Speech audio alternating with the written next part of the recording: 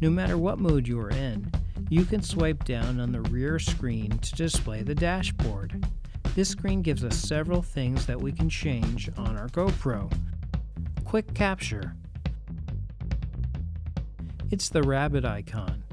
When enabled, when your GoPro is turned off, you can turn your camera on with the shutter button and it will immediately start capturing video or time lapse.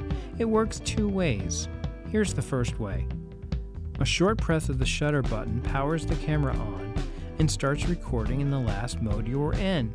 Then, when you press it to stop recording, the GoPro shuts off. Here's the second way.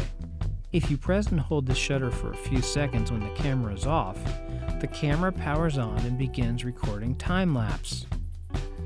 Then, when you press it to stop recording, the GoPro shuts off. Quick Capture saves time and battery power. Well, I hope you found this video helpful. Thanks for watching, please like and subscribe.